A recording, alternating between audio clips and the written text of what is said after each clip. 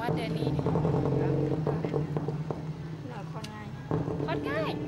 ปวดเลยอะอ่าปวดเลยอะใช้เวลาสามขีดเย็บ ตอนตอนโมงถ้าหน่อยแข็งแรงเนาะคลอดบ่ายโมงกว่าเนาะไปโมงครึ่งไม่ปวดเลย อะไรล่ะปุกกี้บ้านนี่นะลูก